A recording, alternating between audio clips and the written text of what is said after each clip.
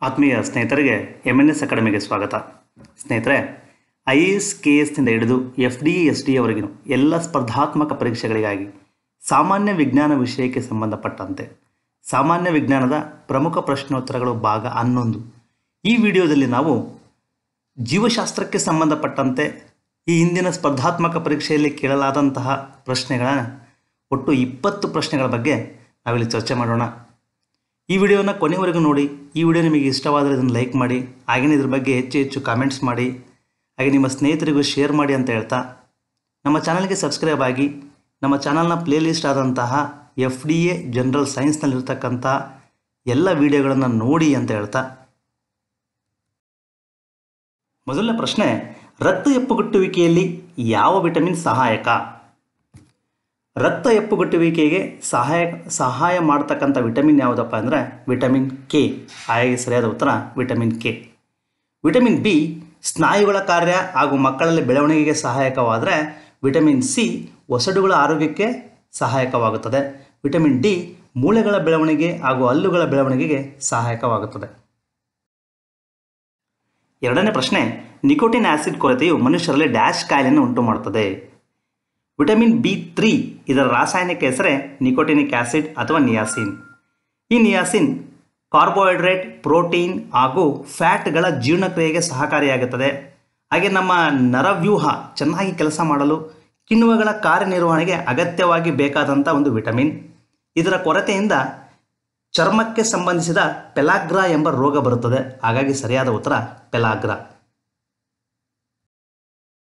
ಮೂರನೇ ಪ್ರಶ್ನೆ ಕೆಳಕಂಡ ಮಾಲಿನ್ಯದ ಪ್ರಯುಕ್ತ ಮನುಷ್ಯನ ರಕ್ತದಲ್ಲಿ ಆಮ್ಲಜನಕ ರವಾನಿಸುವ ಸಾಮರ್ಥ್ಯ ಕಡಿಮೆಯಾಗುತ್ತದೆ ಮನುಷ್ಯರ ರಕ್ತದಲ್ಲಿ ಕೆಂಪು ಬಣ್ಣದ ವರ್ಣಕ ಇರುತ್ತೆ, ಅದುವೇ ಹಿಮೋಗ್ಲೋಬಿನ್. ಹಿಮೋಗ್ಲೋಬಿನ್ನ ಕೆಲಸ ಆಕ್ಸಿಜನ್ ಸಾಕಾಣಿಕೆ.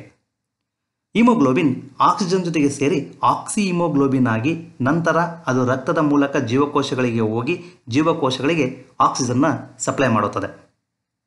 ವಾತಾವರಣದಲ್ಲಿ ಪರಿಸರ ಮಾಲಿನ್ಯದ ಕಾರಣದಿಂದ ಕಾರ್ಬನ್ ಮಾನಾಕ್ಸೈಡ್ ಜಾಸ್ತಿ ಆದರೆ ಈ ಕಾರ್ಬನ್ ಮಾನಾಕ್ಸೈಡ್ ನಮ್ಮ ದೇಹದ ಒಳಗೆ ಹೋಗಿ ಇಮೋಗ್ಲೋಬಿನ್ ಜೊತೆಗೆ ವರ್ತಿಸಿ ಕಾರ್ಬಾಕ್ಸಿ ಇಮೋಗ್ಲೋಬಿನ್ ಆಗುತ್ತದೆ. ಆಗ ನಮ್ಮ ದೇಹಕ್ಕೆ ಆಕ್ಸಿಜನ್ ಸಾಗಾಣಿಕೆ ಕುಂಠಿತವಾಗುತ್ತದೆ. ಹಾಗಾಗಿ ಸರಿಯಾದ ಉತ್ತರ ಕಾರ್ಬನ್ ಮಾನಾಕ್ಸೈಡ್. ನಾಲ್ಕನೇ ಪ್ರಶ್ನೆ, ಎಲ್ಲ ಕಶೇರುಕಗಳು ಸಾಮಾನ್ಯವಾಗಿ ಈ ಕೆಳಗಿನವುಗಳಲ್ಲಿ ಯಾವುದನ್ನು ಹೊಂದಿರುತ್ತವೆ? ಬೆನ್ನು ಮೂಳೆಯನ್ನು ಹೊಂದಿರತಕ್ಕಂಥ ಜೀವಿಗಳನ್ನು ನಾವು ಕಶೇರುಕಗಳು ಎಂದು ಕರಿತೇವೆ. ಇಂತಹ ಕಶೇರುಕಗಳ ಸಾಮಾನ್ಯ ಲಕ್ಷಣಗಳೆಂದರೆ ಬೆನ್ನಿನ ಭಾಗದಲ್ಲಿ ಗಟ್ಟಿಯಾದ ನೋಟಕಾರ್ಡ್ ಅಂದರೆ ಬೆನ್ನು ಮೂಳೆ ಎಂಬ ರಚನೆಯನ್ನು ಹೊಂದಿರುತ್ತವೆ. ಈ ಬೆನ್ನು ಮೂಳೆಯ ಒಳಗೆ ಸಿಲಿಂಡರ್, ಸಿಲಿಂಡರ್ನಾಕೃತಿಯ ನರಹುರಿ ಇರುತ್ತದೆ. ಜೊತೆಗೆ ಇವು ಆಂತರಿಕ ಅಸ್ಥಿಪಂಜರವನ್ನು ಹೊಂದಿರುತ್ತವೆ. ಹಾಗಾಗಿ ಇದಕ್ಕೆ ಸರಿಯಾದ ಉತ್ತರ, ಅವು ಆಂತರಿಕ ಅಸ್ಥಿಪಂಜರ ಮತ್ತು ಬೆನ್ನು ಮೂಳೆಯನ್ನು ಸಹಿತ ಹೊಂದಿರುತ್ತವೆ. ಐದನೇ ಪ್ರಶ್ನೆ ರಕ್ತದ ಎಪ್ಪುಗಟ್ಟುವಿಕೆಯಲ್ಲಿ ರಕ್ತದಲ್ಲಿರುವ ಈ ಮುಂದಿನ ಯಾವ ಅಂಶ ಪ್ರಮುಖ ಪಾತ್ರ ವಹಿಸುತ್ತದೆ? ರಕ್ತ ಎಪ್ಪುಗಟ್ಟಲು ಸಹಾಯ ಮಾಡತಕ್ಕಂತಹ ರಕ್ತ ಕಣಗಳು ಯಾವುವೆಂದರೆ ಪ್ಲೇಟ್ಲೆಟ್ಸ್ ಹಾಗೂ ಪ್ಲಾಸ್ಮಾದಲ್ಲಿರ್ತಕ್ಕಂಥ ಪ್ರೋಟೀನ್ಗಳಾದಂತಹ ಫೈಬ್ರೋನೋಜಿನ್ ಮತ್ತು ಪ್ರೋಥ್ರಾಂಬಿನ್ ಹಾಗಾಗಿ ಇದಕ್ಕೆ ಸರಿಯಾದ ಉತ್ತರ ಬ್ಲಡ್ ಪ್ಲಾಸ್ಮಾ ಮತ್ತು ಪ್ಲೇಟ್ಲೆಟ್ಗಳು. ಆರನೇ ಪ್ರಶ್ನೆ ಮನುಷ್ಯ ದೇಹದಲ್ಲಿರುವ ಅತ್ಯಂತ ಗಟ್ಟಿ ವಸ್ತುವನ್ನು ಈ ಮುಂದಿನವುಗಳಲ್ಲಿ ಗುರುತಿಸಿ. ಮಾನವನ ದೇಹದಲ್ಲಿ ಅತ್ಯಂತ ಗಟ್ಟಿ ವಸ್ತು ಯಾವುದೆಂದರೆ ಅಲ್ಲಿನ ಮೇಲೆ ಇರ್ತಕ್ಕಂತಹ ಗಡುಸಾದ ಪದರ ಖನಿಜಗಳಿಂದ ಮಾಡಲ್ಪಟ್ಟಂಥ ಎನಮಲ್. ಹಾಗಾಗಿ ಇದಕ್ಕೆ ಸರಿಯಾದ ಉತ್ತರ, ಅಲ್ಲಿನ ಮೇಲಿನ ಗಡುಸಾದ ಪದರ. ಏಳನೇ ಪ್ರಶ್ನೆ ಬಿಟಿ ಹತ್ತಿ ಎಂಬ ಶಬ್ದದಲ್ಲಿ ಬಿಟಿ ಎಂಬುದು ಏನನ್ನು ಸೂಚಿಸುತ್ತದೆ? ಬಿಟಿ ಹತ್ತಿ ಎಂದರೆ ಬ್ಯಾಸಿಲಸ್ ತುರೆಂಜೆನಿಸಿಸ್ ಎಂಬ ಬ್ಯಾಕ್ಟೀರಿಯಾದ ವಂಶವಾಹಿನಿ ಅಂದರೆ ಜೀನನ್ನು ಅಳವಡಿಸಿ ಅಭಿವೃದ್ಧಿಪಡಿಸಿದ ಕುಲಂತರಿಯಾದ ಹತ್ತಿ genetically modified cotton bacillus thuringiensis ಎಂಬ ಬ್ಯಾಕ್ಟೀರಿಯಾ ಇದು ಮಣ್ಣಿನಲ್ಲಿರುತ್ತದೆ. ಈ ಬ್ಯಾಕ್ಟೀರಿಯಾ ಒಂದು ಪ್ರೋಟೀನನ್ನು ಉತ್ಪಾದನೆ ಮಾಡುತ್ತದೆ. ಈ ಪ್ರೋಟೀನ್ ಹತ್ತಿ ಗಿಡಗಳಿಗೆ ರೋಗಕಾರಕ ಕ್ರಿಮಿಗಳಿಗೆ ವಿಷವಾಗಿ ಪರಿವರ್ತಿಸುತ್ತದೆ. ಹಾಗಾಗಿ ಈ ಬ್ಯಾಸಿಲಸ್ ತುರಂಜೆನಿಸಿಸ್ ಎಂಬ ಬ್ಯಾಕ್ಟೀರಿಯಾ ಆ ಕಾಟನ್ ಗಿಡವನ್ನು ರೋಗಗಳಿಂದ ಕಾಪಾಡ್ತದೆ ಹಾಗೆ ಇದಕ್ಕೆ ಸರಿಯಾದ ಉತ್ತರ, ಬ್ಯಾಸಿಲಸ್ ತುರಂಜಿನಿಸಿಸ್ ಎಂಟನೇ ಪ್ರಶ್ನೆ, ಸ್ಟೆಮ್ ಸೆಲ್ ಸಂಶೋಧನೆಯಲ್ಲಿ ಸ್ಟೆಮ್ ಸೆಲ್ಗಳು ಎಂದರೆ? ಲೈಂಗಿಕ ರೀತಿಯ ಸಂತಾನೋತ್ಪತ್ತಿಯಲ್ಲಿ ಗಂಡು ಲಿಂಗಾಣು, ಹೆಣ್ಣು ಲಿಂಗಾಣುಗಳ ಸಂಯೋಗದಿಂದ ಉಂಟಾಗ್ತವೆ. ಈ ಸಂಯೋಗ ಆದ ತಕ್ಷಣ ಮೈಟಾಸಿಸ್ ವಿಧಾನದ ಮೂಲಕ ಕೋಶ ವಿಭಜನೆ ಪ್ರಾರಂಭ ಆಗುತ್ತದೆ ಮೊದಲು ಯುಗ್ಮಜ ಎರಡು, ನಂತರ ಇದನ್ನು ನಾಲ್ಕು, ನಾಲ್ಕರಿಂದ ಎಂಟು, ಎಂಟರಿಂದ ಹದಿನಾರು, ಹೀಗೆ ಮರಿಕೋಶಗಳು ಉಂಟಾಗುತ್ತಾ ಅವುಗಳ ಸಂಖ್ಯೆ ಗುಣೋತ್ತರ ಶ್ರೇಣಿಯಲ್ಲಿ ಹೆಚ್ಚಾಗುತ್ತಾ ಹೋಗುತ್ತದೆ. ನಂತರ ಅವು ದುಂಡನೆ ಆಕಾರದ ಜೀವಕೋಶಗಳ ಗುಚ್ಛ ಉಂಟಾಗುತ್ತೆ. ಅವು ಬೆಳವಣಿಗೆ ಆಗಿ ವಿವಿಧ ಅಂಗಗಳು, ಅಂಗವ್ಯೂಹಗಳು ಬೆಳವಣಿಗೆ ಆಗ್ತವೆ. ಈ ಹಂತದಲ್ಲಿರ್ತಕ್ಕಂಥ ಕೋಶಗಳನ್ನು ನಾವು ಆಕಾರ ಕೋಶಗಳು, ಸ್ಟೆಮ್ ಸೆಲ್ಸ್ ಅಂತ ಕರಿತೇವೆ. ಹಾಗಾಗಿ ಇದಕ್ಕೆ ಸರಿಯಾದ ಉತ್ತರ ವಿವಿಧ ಅಂಗಗಳಾಗಿ ರೂಪುಗೊಳ್ಳುವ ಜೀವಕೋಶಗಳು. ಇವತ್ತಿನ ಪ್ರಶ್ನೆ, ಒಂದು ಗೊತ್ತಾದ ಆಹಾರ ಸರಪಳಿಗೆ ಸೇರಿದ ಈ ಕೆಳಗಿನ ಯಾವ ಜೀವಿಯ ದೇಹದಲ್ಲಿ ಅಪಾಯಕಾರಿ ರಾಸಾಯನಿಕವು ಹೆಚ್ಚಿನ ಪ್ರಮಾಣದಲ್ಲಿ ಇರುತ್ತದೆ? ಅಕ್ವಾಟಿಕ್ ಫುಡ್ ಚೈನಲ್ಲಿ ಫೈಟೋಪ್ಲಾಂಕ್ಟನನ್ನು ಜೂ ಪ್ಲಾಂಕ್ಟನ್ಗಳು ತಿಂತವೆ. ಜೂ ಪ್ಲಾಂಕ್ಟನ್ನ ಮೀನು ತಿನ್ನುತ್ತೆ. ಮೀನುಗಳನ್ನು ಮಿಂಚುಳ್ಳಿ ಅಂದರೆ ಪಕ್ಷಿ ತಿನ್ನುತ್ತದೆ. ಹೀಗೆ ಈ ಆಹಾರ ಸರಪಳಿಯಲ್ಲಿ ಒಂದು ಜೀವಿಯನ್ನು ಮತ್ತೊಂದು ಜೀವಿ ಭಕ್ಷಿಸುತ್ತಾ ಹೋದಂತೆಲ್ಲ ಅದರಲ್ಲಿ ಶೇಖರವಾಗ್ತಕ್ಕಂಥ ರಾಸಾಯನಿಕದ ಪ್ರಮಾಣವು ಸಹಿತ ಹೆಚ್ಚಾಗುತ್ತಾ ಹೋಗುತ್ತದೆ. ಅಂತಿಮ ಪೋಷಣ ಸ್ಥಳದಲ್ಲಿರ್ತಕ್ಕಂಥ ಜೀವಿಯಲ್ಲಿ ವಿಷದ ಪ್ರಮಾಣ ಅತಿ ಹೆಚ್ಚಿನ ಪ್ರಮಾಣದಲ್ಲಿರುತ್ತದೆ. ಹಾಗಾಗಿ ಇಲ್ಲಿ ಕೊಟ್ಟಿರ್ತಕ್ಕಂಥ ಆಹಾರ ಸರಪಳಿಯಲ್ಲಿ ಅಂತಿಮ ಪೋಷಣ ಸ್ಥಳದಲ್ಲಿರ್ತಕ್ಕಂತಹ ಜೀವಿ ಮಿಂಚುಳ್ಳಿ, ಅಂದರೆ ಪಕ್ಷಿ. ಹಾಗಾಗಿ ಇದರಲ್ಲಿ ಅಪಾಯಕಾರಿ ರಾಸಾಯನಿಕ ಪ್ರಮಾಣ ಹೆಚ್ಚಿನ ಪ್ರಮಾಣದಲ್ಲಿ ಶೇಖರಣೆ ಆಗುತ್ತದೆ. ಹಾಗಾಗಿ ಇದಕ್ಕೆ ಸರಿಯಾದ ಉತ್ತರ ಮಿಂಚುಳ್ಳಿ. ಹತ್ತನೇ ಪ್ರಶ್ನೆ ಮಾನವ ಶರೀರ ವ್ಯವಸ್ಥೆಯಲ್ಲಿ ಹಾರ್ಮೋನ್ಗಳನ್ನು ನಿಯಂತ್ರಿಸುವ ವ್ಯವಸ್ಥೆ ಯಾವುದು? ಮಾನವನ ಶರೀರ ವ್ಯವಸ್ಥೆಯಲ್ಲಿ ಎರಡು ರೀತಿಯ ಗ್ರಂಥಿಗಳಿದ್ದಾವೆ ಮೊದಲನೇದು ನಳಿಕಾ ಗ್ರಂಥಿ, ಎರಡನೇದು ನೀರ್ನಾಳ ಗ್ರಂಥಿಗಳು. ನೀರ್ನಾಳ ಗ್ರಂಥಿಗಳಿಂದ ಸ್ರವಿಕೆಯಾಗುವ ರಾಸಾಯನಿಕ ವಸ್ತುಗಳಿಗೆ ಹಾರ್ಮೋನ್ಗಳು ಎಂದು ನಾವು ಕರೆಯುತ್ತೇವೆ.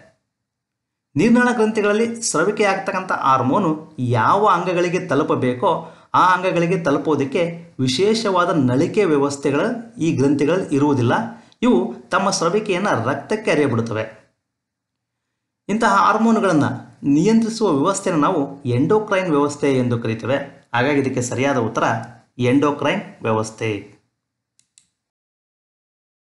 ಹನ್ನೊಂದನೇ ಪ್ರಶ್ನೆ, ನಮ್ಮನ್ನು ಎಚ್ಚರವಾಗಿಡುವುದಕ್ಕೆ ಮತ್ತು ಕೆಲವೊಮ್ಮೆ ನಮಗೆ ದಣಿವಾಗದಿದ್ದರೂ ನಿದ್ದೆ ಬರುವಂತೆ ಮಾಡುವುದಕ್ಕೆ ಒಂದು ಹಾರ್ಮೋನ್ ಕಾರಣವಾಗಿದೆ, ಅದು ಯಾವುದು? ಅಡಿನೋಸಿನ್ ಎನ್ನುವುದು ಅಡಿನೋಸಿನ್ ಟ್ರೈಪಾಸ್ಪೇಟ್ ಎ ಟಿ ಪಿಯ ವಿಭಜನೆಯಿಂದ ಉಂಟಾಗುತ್ತದೆ. ಇದರ ಪ್ರಮಾಣ ವ್ಯಕ್ತಿ ಎಚ್ಚರವಾಗಿದ್ದಾಗ ಹೆಚ್ಚಾಗಿರುತ್ತದೆ. ವ್ಯಕ್ತಿ ಎಚ್ಚರವಾಗಿದ್ದಾಗ ಮೆದುಳಿನ ನರಕೋಶಗಳು ಹೆಚ್ಚಿನ ಎ ಟಿ ಪಿಗಳನ್ನು ಬಳಸ್ಕೊಳ್ಳೋದ್ರಿಂದ ಹೆಚ್ಚಿನ ಅಡಿನೋಸಿನ್ ಬಿಡುಗಡೆ ಆಗ್ತದೆ. ಹಾಗಾಗಿ ಇದಕ್ಕೆ ಸರಿಯಾದ ಉತ್ತರ ಅಡಿನೋಸಿನ್. ಇನ್ನು ಈ ಆಪ್ಷನಲ್ಲಿ ಬರ್ತಕ್ಕಂಥ ಹಾರ್ಮೋನ್ಗಳ ಬಗ್ಗೆ ತಿಳ್ಕೊಳ್ಳೋದಾದರೆ ಹೆಚ್ಚಿನ ಮಾಹಿತಿನ ಅಡ್ರಿನಲಿನ್ ಇದು ಅಡ್ರಿನಲ್ ಗ್ಲ್ಯಾಂಡಿಂದ ಉತ್ಪತ್ತಿ ಆಗ್ತಕ್ಕಂಥ ಒಂದು ಹಾರ್ಮೋನ್ ನಮ್ಮ ಮಸಲ್ಸ್ಗಳಿಗೆ ಬ್ಲಡ್ ಫ್ಲೋನ ಇನ್ಕ್ರೀಸ್ ಮಾಡುತ್ತೆ ಹಾರ್ಟ್ ರೇಟನ್ನು ಜಾಸ್ತಿ ಮಾಡುತ್ತೆ ಬ್ಲಡ್ ಪ್ರೆಷರ್ನ ಇನ್ಕ್ರೀಸ್ ಮಾಡ್ತತೆ, ನಮ್ಮ ಲಂಗ್ಸ್ನ ಎಕ್ಸ್ಪ್ಯಾಂಡ್ ಮಾಡುತ್ತೆ ಏರ್ ಪ್ಯಾಸೇಜ್ ಆಗೋದಕ್ಕೆ. ಇನ್ನು ಮೂರನೇ ಆಪ್ಷನಿಗೆ ಬಂದರೆ ಥೈರಾಕ್ಸಿನ್ ಥೈರಾಕ್ಸಿನ್ ಅನ್ನೋದು ಥೈರಾಯ್ಡ್ ಗ್ರಂಥಿಗಳಿಂದ ಸೇರಿಸಲ್ಪಟ್ಟ ಒಂದು ಹಾರ್ಮೋನ್ ಈ ಥೈರಾಕ್ಸಿನ್ ಹಾರ್ಮೋನು ನಮ್ಮ ಹಾರ್ಟ್ ಮತ್ತು ಡೈಜೆಸ್ಟಿವ್ ಫಂಕ್ಷನ್ ಮಾಡೋದಕ್ಕೆ ಮತ್ತು ಬ್ರೈನ್ ಡೆವಲಪ್ ಆಗೋದಕ್ಕೆ ಬೋನ್ ಹೆಲ್ತ್ ಮತ್ತು ಮಸಲ್ಸ್ ಕಂಟ್ರೋಲ್ ಚೆನ್ನಾಗಿರೋದಕ್ಕೆ ಇದು ಸಹಾಯಕವಾಗುತ್ತೆ. ಇದರ ಪರಿಣಾಮ ಇಡೀ ದೇಹಕ್ಕೆ ಅನ್ವಯ ಆಗೋದ್ರಿಂದ ಉತ್ತಮ ಆರೋಗ್ಯಕ್ಕೆ ಇದು ಅವಶ್ಯಕ. ಈ ಥೈರಾಕ್ಸಿನ್ ಹೆಚ್ಚಿನ ಪ್ರಮಾಣದಲ್ಲಿ ಬಿಡುಗಡೆ ಆದರೆ ಅದನ್ನು ನಾವು ಥೈರೋಟಾಕ್ಸಿಕಾಸಿಸ್ ಅಂತ ಕರಿತೇವೆ. ಇದು ಗಾಯ್ಟರ್ ಅಂದರೆ ಗಳಗಂಡ ರೋಗಕ್ಕೆ ಕಾರಣವಾಗುತ್ತದೆ. ಕುತ್ತಿಗೆಯಲ್ಲಿ ಬಾವು ಉಂಟಾಗುತ್ತೆ. ವೆಯ್ಟ್ ಲಾಸ್ ಮತ್ತು ಈಟ್ ಇಂಟಾಲರೆನ್ಸ್ ಮತ್ತು ಸುಸ್ತಾಗುವಿಕೆ ಆಗುತ್ತೆ. ಅತಿ ಕಡಿಮೆ ಸ್ರವಿಕೆ ಆದರೂ ಸಹಿತ ನಾವು ಅದನ್ನು ಐಪೋಥೈರಡಿಸಮ್ ಅಂತ ಕರಿತೀವಿ ಮೆಟಾಬಾಲಿಕ್ ರೇಟ್ ಕಡಿಮೆ ಆಗಿ ಸುಸ್ತು ಜಾಸ್ತಿ ಆಗುತ್ತದೆ. ಇನ್ನು ಸೆರಟೋನಿನ್ ಬಂದರೆ ಇದು ಒಂದು ಕೆಮಿಕಲ್, ಇದನ್ನು ನಾವು ಹ್ಯಾಪಿ ಕೆಮಿಕಲ್ ಅಂತ ಕರಿತೀವಿ. ಯಾಕಪ್ಪ ಅಂದರೆ ಇದು ವೆಲ್ ಬೀಯಿಂಗ್ ಹ್ಯಾಪಿನೆಸ್ಸಿಗೆ ಕಾರಣವಾಗ್ತದೆ. ಇದು ಕರಳು ಮತ್ತು ಮೆದುಳಿನಲ್ಲಿ ಉತ್ಪತ್ತಿ ಆಗುತ್ತದೆ ಹನ್ನೆರಡನೇ ಪ್ರಶ್ನೆ, ಈ ಕೆಳಗಿನ ಯಾವುದು ಸೊಳ್ಳೆಗಳಿಂದ ಹರಡುವ ರೋಗವಲ್ಲ? ಈ ಪ್ರಶ್ನೆ ಎರಡು ಸಾವಿರದ ಹದಿನೈದರ ಕೆ ಎಸ್ ಪರೀಕ್ಷೆಯಲ್ಲಿ ಕೇಳಲಾಗಿದೆ. ಇಲ್ಲಿ ಮಲೇರಿಯಾ ಈ ರೋಗ ಅನಾಫಿಲಿಸ್ ಎಂಬ ಹೆಣ್ಣು ಸೊಳ್ಳೆಯಿಂದ ಹರಡಿದರೆ ಡೆಂಗ್ಯೂ, ಚಿಕನ್ ಗುನ್ಯ ಇವು ಇಡಿಸ್ ಈಜಿಪ್ಟಿ ಎಂಬ ಸೊಳ್ಳೆಯಿಂದ ಹರಡ್ತವೆ. ಹಾಗಾಗಿ ಸರಿಯಾದ ಉತ್ತರ ಲೈಶ್ ಮೈನಿಯಾಸಿಸ್. ಇದಕ್ಕೆ ಕಾರಣ ಲೈಶ್ಮೇನಿಯಾ ಪ್ಯಾರಾಸೈಟ್. ಇದು ಸ್ಯಾಂಡ್ ಫ್ಲೈಯಿಂದ ಒಬ್ಬರಿಂದ ಒಬ್ಬರಿಗೆ ಹರಡುತ್ತದೆ.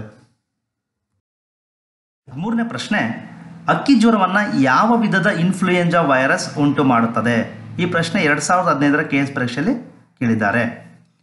ಇನ್ಫ್ಲೂಯೆನ್ಸಾ ವೈರಸ್ನಲ್ಲಿ ಅನೇಕ ವಿಧದ ವೈರಸ್ಗಳಿದ್ದಾವೆ ಅದರಲ್ಲಿ ಅಕ್ಕಿ ಜ್ವರ, ಬರ್ಡ್ ಫ್ಲೂ, ಇದಕ್ಕೆ ಏವಿಯನ್ ಇನ್ಫ್ಲೂಯೆನ್ಸಾ ಅಂತ ಕರಿತೀವಿ. ಅದು ಎಚ್ ಫೈವ್ ಎನ್ ಒನ್. ಹಾಗೆ ಸರಿಯಾದ ಉತ್ತರ ಎಚ್ ಫೈವ್ ಎನ್ ಒನ್. ಇದ್ರ ಬಗ್ಗೆ ಸ್ವಲ್ಪ ಹೆಚ್ಚಿನ ಮಾಹಿತಿಯನ್ನು ತಿಳಿದುಕೊಳ್ಳೋಣ.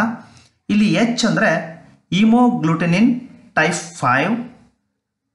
ಮತ್ತು ಎನ್ ಅಂದರೆ ನ್ಯೂರಾಮಿನಿಡೇಸ್. ಟೈಪ್ ಒನ್ ಅಂತ. ಈ ಇಮೋಗ್ಲುಟಿನಿನ್ ಮತ್ತು ನ್ಯೂರಾಮಿನಿಡೇಸಸ್ ಇವೆರಡೂ ಸಹಿತ ಪ್ರೋಟೀನ್ಗಳು. ಇವು ವೈರಸ್ನ ಔಟರ್ ಶೆಲ್ ಮೇಲೆ ಇರ್ತಕ್ಕಂಥ ಪ್ರೋಟೀನ್. ಆ ಪ್ರೋಟೀನ್ನ ರಚನೆಯ ಆಧಾರದ ಮೇಲೆ ಅವುಗಳಿಗೆ ಹೆಸರನ್ನು ಕೊಡ್ತಾ ಇದ್ದಾರೆ. ಹಾಗೆಯೇ ಎಚ್ ಒನ್ ಎನ್ ಒನ್ ಇದು ಸಹಿತ ಇನ್ಫ್ಲೂಯೆನ್ಸಾ ವೈರಸ್ ಎನ ಒಂದು ಸಬ್ ಟೈಪ್. ಇದು ಹಂದಿ ಜ್ವರ ಸ್ವೈನ್ ಫ್ಲೂಗೆ ಕಾರಣವಾಗಿದೆ. ಹಾಗೆಯೇ H seven N one H nine N one ಇವೆಲ್ಲವೂ ಸಹಿತ ಇನ್ಫ್ಲೂಯೆನ್ಸಾ ವೈರಸ್ ಏನ ಸಬ್ ಟೈಪ್ಗಳಿವು ಹದಿನಾಲ್ಕನೇ ಪ್ರಶ್ನೆ, ರಕ್ತಹೀನತೆ, ಅನಿಮಿಯಾವನ್ನು ನಿವಾರಿಸಬಲ್ಲ ವಿಟಮಿನ್ ಯಾವುದು? ಈ ಪ್ರಶ್ನೆ ಕೆ ಎಸ್ ಎರಡು ಸಾವಿರದ ಏಳು ಹಾಗೂ ಎಫ್ ಡಿ ಎರಡು ಸಾವಿರದ ಹದಿನೈದರಲ್ಲಿ ರಿಪೀಟ್ ಆಗಿದೆ. ರಕ್ತಹೀನತೆಗೆ ಕಾರಣವಾಗ್ತಕ್ಕಂಥ ವಿಟಮಿನ್ ವಿಟಮಿನ್ ಬಿ ಟ್ವೆಲ್ವ್ ಹಾಗಾಗಿ ಇದಕ್ಕೆ ಸರಿಯಾದ ಉತ್ತರ, ವಿಟಮಿನ್ ಬಿ ಟ್ವೆಲ್ವ್ ಇದ್ರ ಬಗ್ಗೆ ಸ್ವಲ್ಪ ಹೆಚ್ಚಿನ ಮಾಹಿತಿಯನ್ನು ತಿಳಿದುಕೊಳ್ಳೋಣ. ನಮ್ಮ ದೇಹ ಕೆಂಪು ರಕ್ತ ಕಣಗಳನ್ನು ಉತ್ಪಾದಿಸುತ್ತದೆ. ಆರೋಗ್ಯಕರ ಕೆಂಪು ರಕ್ತ ಕಣಗಳ ಉತ್ಪಾದನೆಗೆ ವಿಟಮಿನ್ ಬಿ ಟ್ವೆಲ್ವ್ ಸಹಾಯ ಮಾಡುವುದರಿಂದ ಇದನ್ನು ಅನಿಮಿಯಾ ನಿವಾರಣೆಗಾಗಿ ಉಪಯೋಗಿಸ್ತಾರೆ. ಇನ್ನು ವಿಟಮಿನ್ ಡಿಗೆ ಬಂದರೆ ಇದು ನಮ್ಮ ಆಹಾರದಲ್ಲಿರ್ತಕ್ಕಂಥ ಕ್ಯಾಲ್ಶಿಯಮನ್ನು ಹೀರಲು ಸಹಾಯ ಮಾಡುತ್ತದೆ. ನಮಗೆ ಗಾಯಗಳಾದಾಗ ಸ್ವಲ್ಪ ಸಮಯದ ನಂತರ ರಕ್ತ ಎಪ್ಪುಗಟ್ಟುತ್ತದೆ. ಆ ರಕ್ತ ಎಪ್ಪುಗಟ್ಟಲು ಕಾರಣ ವಿಟಮಿನ್ ಕೆ. ಇನ್ನು ವಿಟಮಿನ್ ಸಿಗೆ ಬಂದರೆ ಇದು ನಮ್ಮ ದೇಹದ ಸಂಯೋಜಕ ಅಂಗಾಂಶಗಳು ಹಾಗೂ ಆರೋಗ್ಯಕರ ಚರ್ಮಕ್ಕೆ ಸಹಾಯ ಮಾಡುತ್ತದೆ.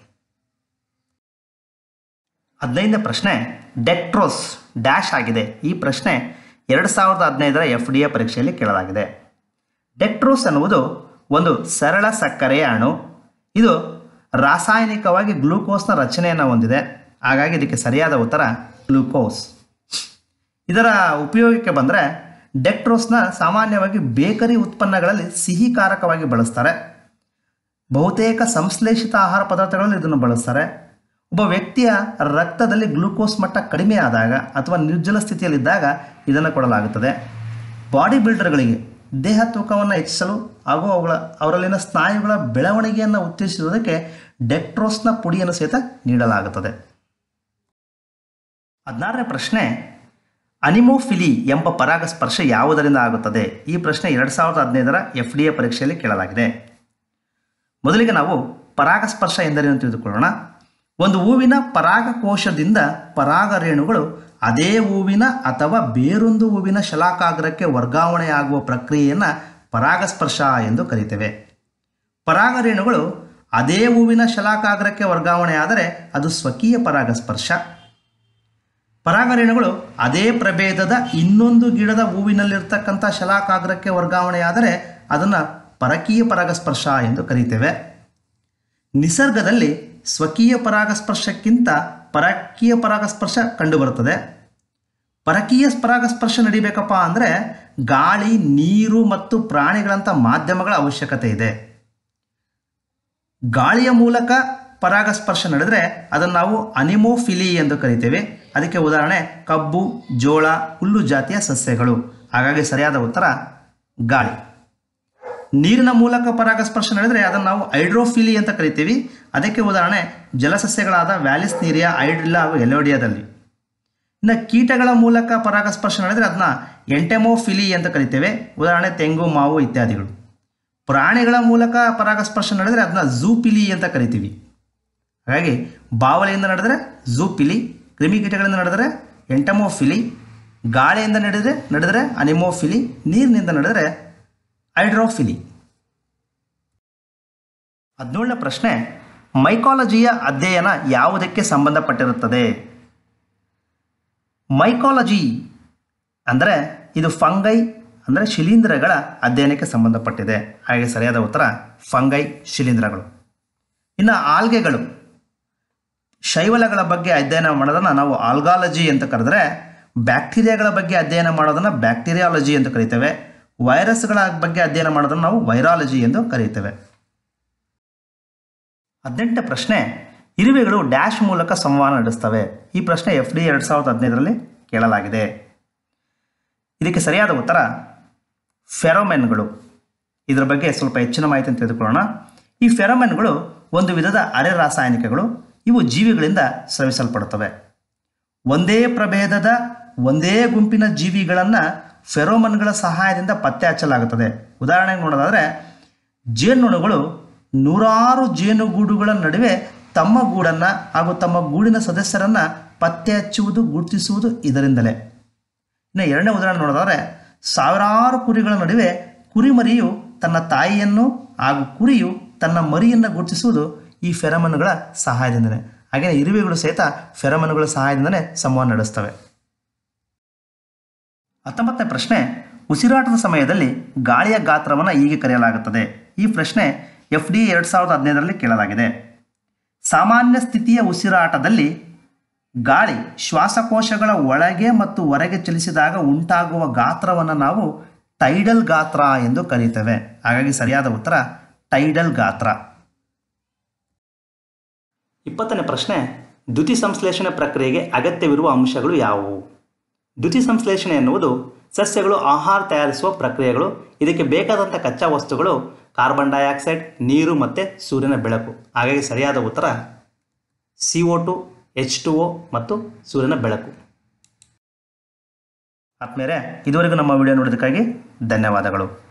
ಈ ವಿಡಿಯೋ ನಿಮಗೆ ಇಷ್ಟವಾದರೆ ಇದನ್ನು ಲೈಕ್ ಮಾಡಿ, ಹಾಗೇನೇ ಇದ್ರ ಬಗ್ಗೆ ಕಮೆಂಟ್ಸ್ ಮಾಡಿ, ನಿಮ್ಮ ಸ್ನೇಹಿತರಿಗೂ ಶೇರ್ ಮಾಡಿ ಅಂತ ಹೇಳ್ತಾ ಮತ್ತೊಮ್ಮೆ ಧನ್ಯವಾದಗಳು.